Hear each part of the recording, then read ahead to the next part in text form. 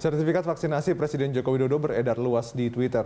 Beredarnya sertifikat tersebut dikaitkan dengan bocornya data di aplikasi Peduli Lindungi.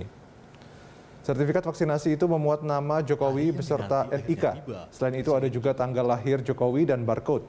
Surat keterangan vaksinasi COVID-19 itu menyatakan Jokowi telah divaksinasi untuk dosis kedua pada 27 Januari 2021.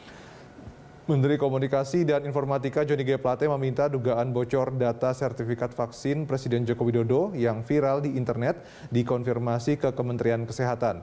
Menurutnya data sertifikat vaksin yang ada di Peduli Lindungi yang ditaruh di Pusat Data Kementerian Komunikasi dan Informatika diklaim aman.